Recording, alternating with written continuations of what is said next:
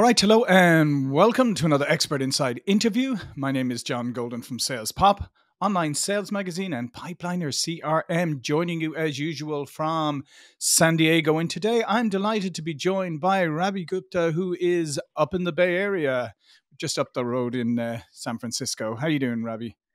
I'm doing great, John. How are you? I'm, I'm doing fantastic. And Rabi is a serial entrepreneur and he's working with his current founding team for 10 plus years. And they've used AI to build uh, recommendation engines, social platforms, and enterprise software. And their vision is now to set the standard for business relationships using AI to personalize the physical and the digital experience with his company, uh, EvaBot.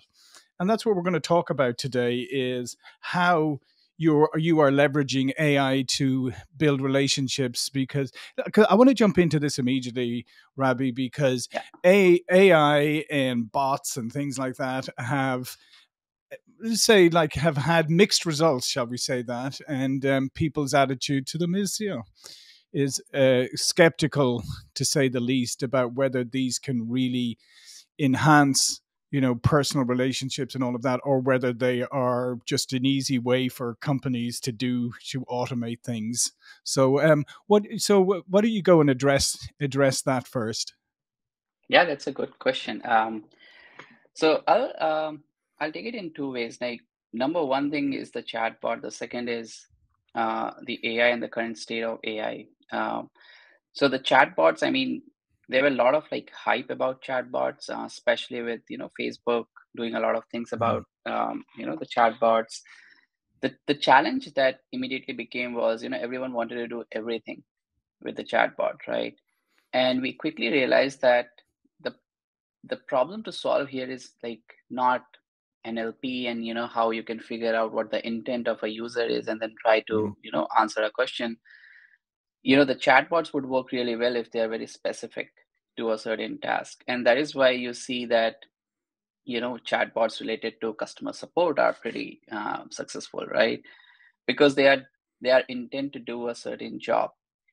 Um, our insight initially was that the chatbots are a great way to uh, you know do a deep conversation. Um, and when humans are chatting with machines um, the advantage you get there is you know they they open up way more than they would open up with another human uh, and that is the tendency you know anyway that's with us because uh, we have kind of learned to trust machines uh, you know when we go online or when we create social profiles and stuff like that mm-hmm. so what we do is we actually use uh, chatbots for a very very specific purpose which is to get to know you to send you a mm-hmm. gift right? And because you are basically i mean we started with gifts but you know as i I'll, I'll go along i'll tell you more about how we are actually right. using the the whole conversation now to build rapport as well. Um so so we started with gifts so we knew that you know people would share their information uh, as long as it's a very honest trustworthy conversation. Uh, and the person that is basically sending the gift you know you know that person. Right. Um so so that trust is built and then you know you just do a simple two to three minutes conversation with the bot. And where the bot can have you know multiple um, i would say flows but it's still very confined to the idea that i'm getting to know you to get you something right? Right Which is right right. personalized to your taste. And i believe that is why you know um, it's been more successful than general chatbots you know which is you know you don't have an intent this is true for any company also right if you build a company mm-hmm. and then you don't have a very specific purpose or a product that doesn't solve a specific problem uh, you know it will fail and same yeah. with the chatbots i think most of the chatbots try to solve for the you know nlp problem and then understanding the intent behind everything that people want to say uh, mm-hmm. so that's why I, I believe it didn't work but uh, most of the chatbots that work today are like very very specific. Um, right. and then coming to ai right? Like yeah um, actually just let, let me ask you just one quick question on that uh, uh, because if uh, as you say i mean in your case you're using the bot you're trying to gather that information uh, in order to do something that's uh, yeah. uh, of benefit benefit to the customer. I think one of the problems that people have with bots is that some companies try and pretend that the bots aren't bots, right? And I think that frustrates people. So, I mean, if you're honest about you're using a bot, but you're using it for a purpose and it's a good purpose and it's it's it's advantageous to the person engaging it, I think that's different. But I think you have to be honest, wouldn't you say that it's a bot instead of pretending it's not? That's that's a very good point. Uh, so one thing is, of course, uh, letting people know that it's a bot, and you know, you don't really have to tell it. It's more like sure. we put it in our name, so it's very clear. Yeah, yeah. uh, but but yeah, when you uh, and the advantages of bots are are a lot. You know, a form, for example, can collect the same data, but a form cannot have a personality, right? Mm. A form cannot talk to you in a certain way. Uh, plus, if you see the length of the form, you will be like, oh, I don't want to fill it, right? Um, with chatbots, because it can have a personality and it can have multiple personalities, right? So in our case, you know, it can be a professional tone or it can be a casual tone or a funny tone, right? You can actually do mm-hmm. all of that to to to make it like two to three minutes of like fun engagement, uh, right? Mm-hmm. And those things are not there with any form or any other thing so that is the main advantage of using bots um, in my opinion Right, right, right. No, I, I, I like that idea, um, and it's great. Obviously, it's great that the bots can have multiple personalities. Not so great when humans have them, but uh, bots can the bots can handle it. So yeah, so let's let's move on to to AI and machine learning. So what we have seen is, you know, um, so that's why when we started like the company, we started with one specific use case, which is getting to know people, and then surprising them with gifts that they would like. But in the process, because we were gathering information on people, right? Suppose uh, I send you a gift today and mm-hmm. the bot gets to know you that say right. you, you are a fan of, you know, uh, SF Giants and, you know, uh, you love coffee. Uh, say you have kids and a pet, right? If, if I gather this information, um, then it can be used beyond gifts as well, right? So, for example, if SF Giants just won a tournament, I can actually send you an email saying, "Hey, you know, this was a great game," you know, uh, and and stuff about that. So we were thinking, why don't we use AI to to actually use this data and then create more meaningful experiences uh, and engagement for people?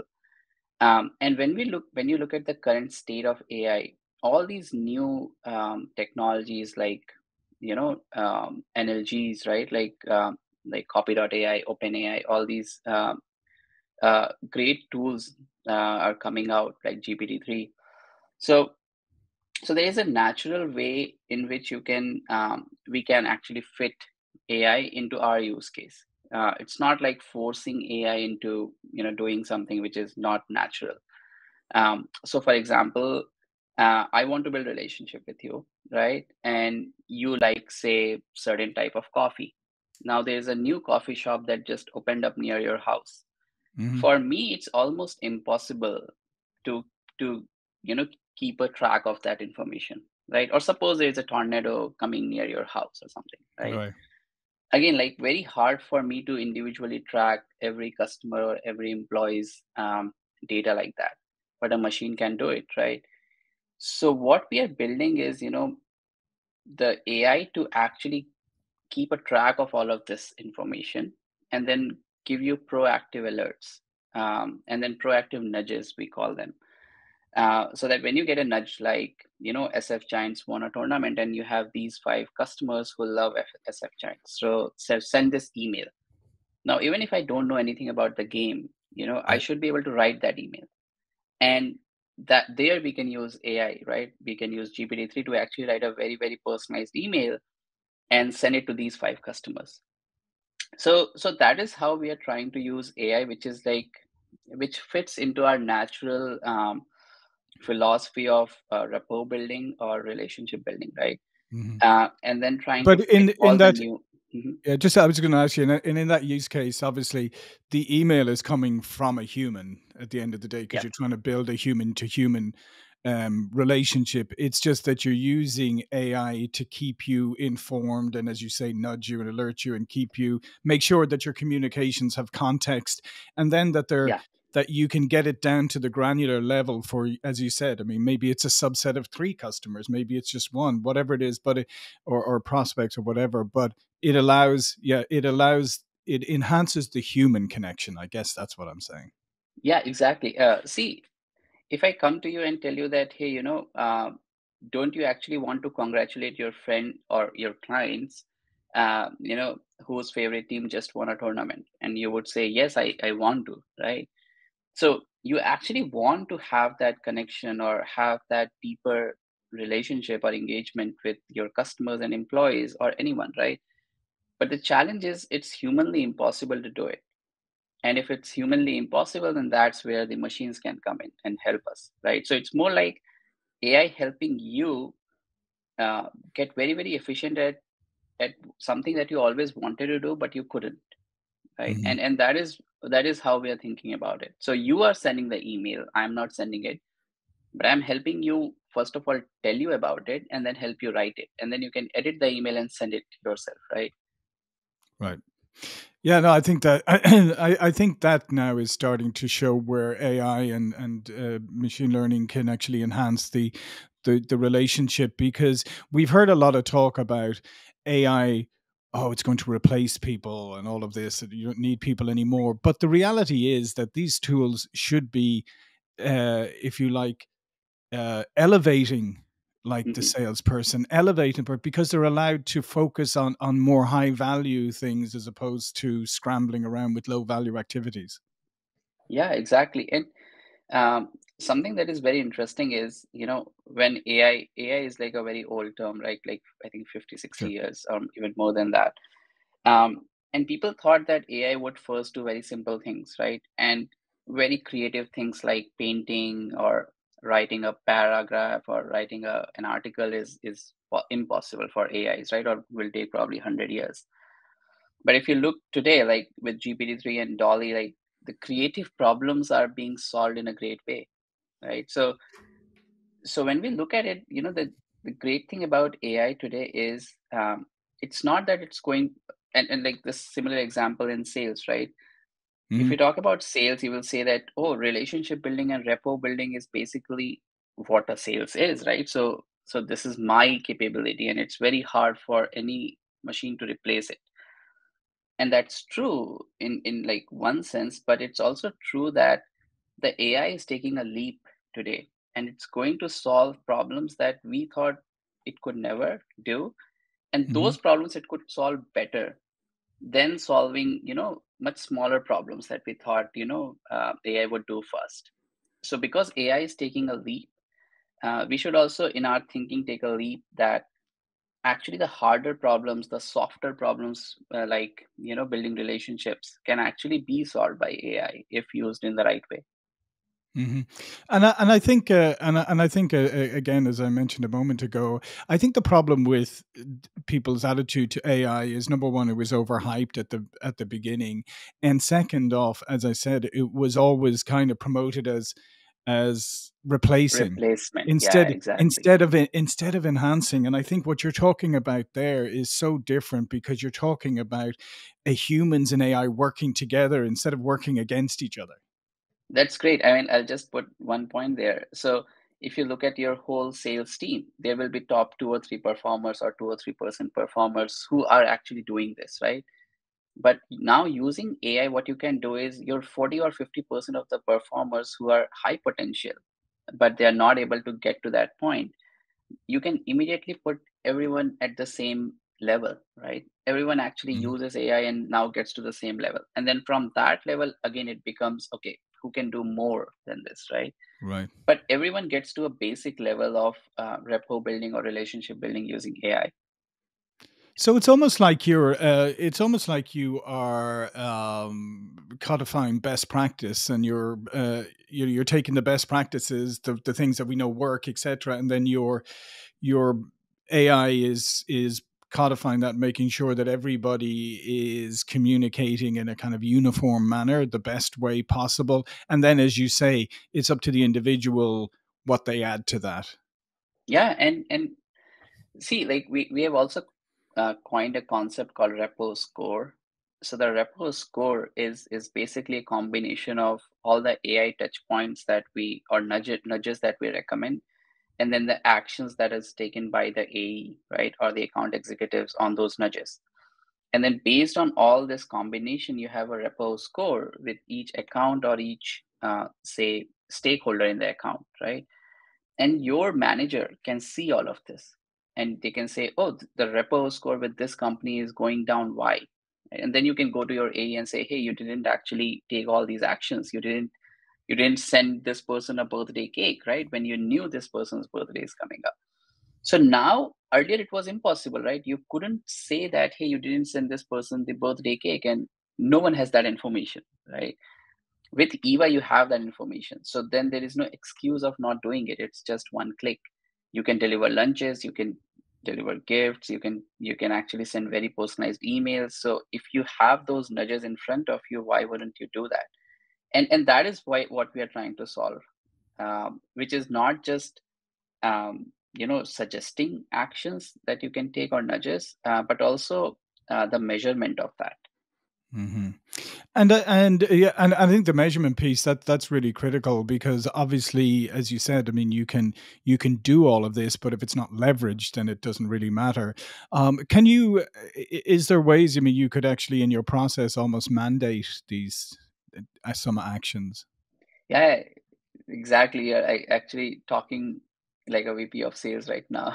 so yeah, so there there can be a playbook that you can actually make it more like automated, right? That these actions will always happen, uh, whether your A takes them or not. Uh, and then it will show that, you know, or, or it can come as a mandatory task under your Salesforce. So there are certain, there are of course playbooks that you can create while we set up the account. And then, you know, um, then certain things are recommended, certain things are mandatory. You can, you can define all of that. Mm-hmm. So, um, put on, uh, take out your crystal ball there, and put on your put on your futurist hat, and tell me where where do you see this going from here in the next few years?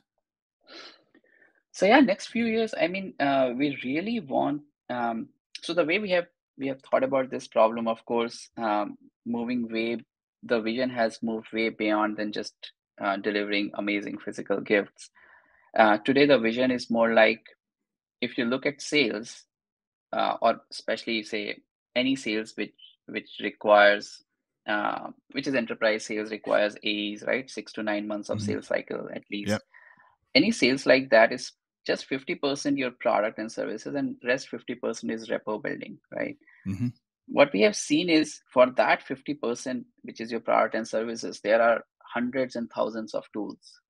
Uh, but for the rest of the 50% it's just you just leave it to the person right? Leave yep. it to the a leave it to the training people all of that. Um, there is no software or tool to do this and that is what we are trying to build. So our vision is that eventually even within rapport building there will be tools and softwares that can help you actually close sales uh, not just faster but actually in a very very measurable way uh, including the the software piece, which is uh, you know rapport building and stuff like that. Mm-hmm.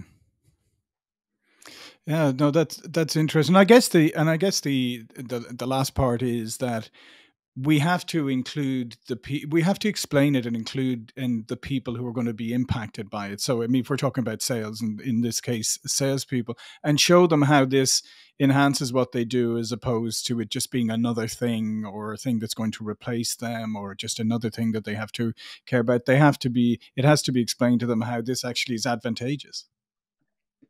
Yeah, and it will make it super fun. So mm-hmm. I have been doing it, and it's so much fun uh, that I don't want to, you know, not do it, right? so, yeah. because, you know, uh, the power of this is that when you start doing, uh, for example, you know, we have Fortune, like out of Fortune 100 companies, we have like five customers.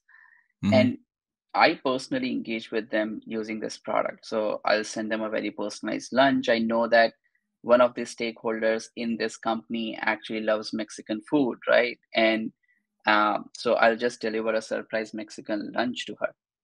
Right. And then I'll, I'll wait for her response on my text. And when I get this response, it's it's a good, it's a new high, right? That mm-hmm. you are mm-hmm. actually delivering some great experiences to your customers. And then over a period of time, uh, there is this relationship that is automatically getting built. Otherwise, you have to do the hard work of actually figuring out everything about everyone, right? And then then trying to solve it yourself. So it's hard and it's it's not fun. So we are trying to make it more fun. We are trying to make it more engaging and measurable as well. Yeah. No and I, what i like about that is also is that uh it's like people love good surprises.